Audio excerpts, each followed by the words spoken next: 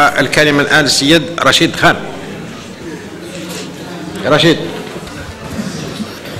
سيدي الرئيس السادة الوزراء السيدات والسادة النواب الأسرة الإعلامية صباح الخير. يعتبر مشروع قانون المالية 2016 وقبله قانون المالية التكميلي 2015 انقلاب شرس على مكاسب ومبادئ الثورة التحريرية والاستقلال الوطني. وطعنة بالخنجر في ظهر مليون ونصف المليون شهيد. وكذا انقلاب على تصويبات رئيس الجمهورية عبر إقرار مكاسب سيادية ضمن قوانين المالية التكميليين 2009-2010 ومن خلال مناقشة هذا المشروع وبعده سيكون التصويت عليه هنا بالذات سيد الرئيس سيد الوزير إيبان الذي مع الشعب والذي مع الأوليغارشية حول ما احتواه مشروع القانون الذي هو قنبلة موقوتة تهدد سيادة الدولة.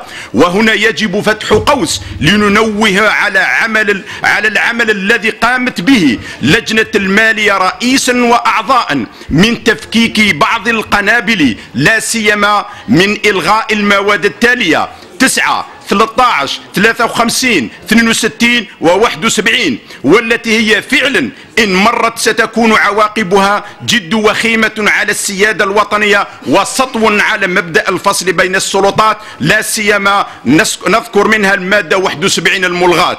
أمام هذا من حقنا أن نتساءل سيد الوزير من الذي له صالح بجر البلاد والعباد للهاوية؟ للأسف وعيب كل هذا لصالح حفنة من الأوليغارشية المفترسة خدمة لمصالحها الضيقة ولمصالح الأجنبية.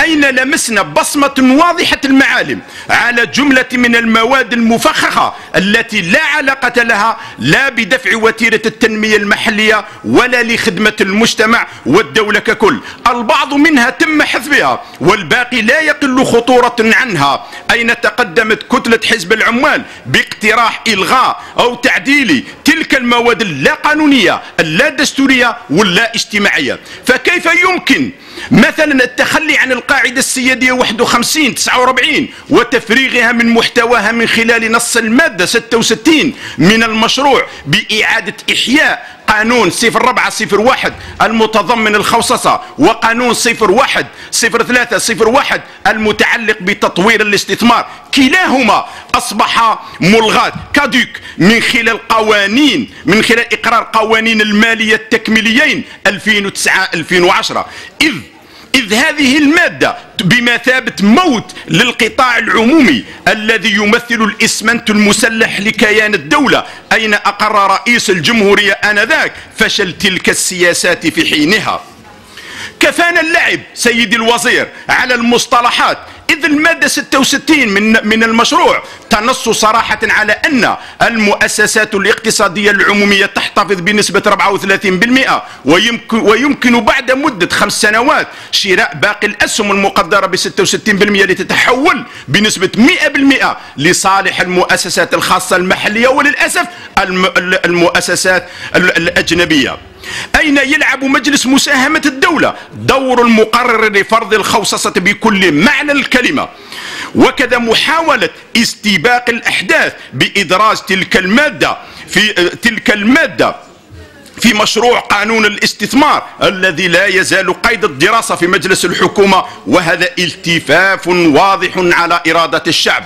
والأخطر من كل هذا سيد الوزير هو إقرار الحكومة اللجوء صراحة للاستدانة الخارجية من خلال نص المادة 59 من نفس المشروع أين تستفيد منه حتى الشركات الأجنبية المتعددة الجنسيات وبالمقابل خزينة الدولة تبقى الضامن في التسديد في حال الإفلاس أو العجز بعدما كان هذا الإجرار هذا الإجراء محرم في قوانين المالية 2009-2010 وأزمة اليونان للتذكير سيد الوزير ليست ببعيدة عنا.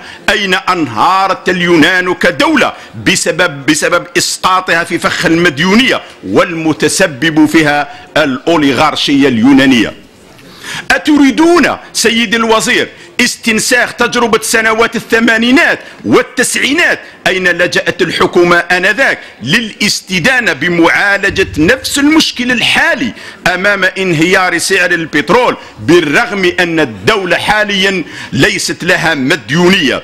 أين تطلب تدخل صندوق النقد الدولي بفرض سياسات قاتلة للاقتصاد الوطني؟ أين كلف الخزينة العمومية؟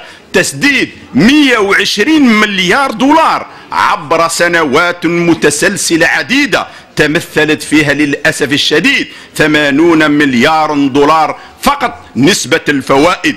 وأنتم تعرفون سيدي الوزير ما أن جر عن ذلك فيما بعد من تدمير مبرمج للصناعة والاقتصاد الوطني من خلال إجراءات الخوصصة التي دمرت المئات من المؤسسات وتسريح الآلاف من العمال وتطبيق فيما بعد مخطط التصحير الهيكلي الذي قضى على اليابس والأخضر.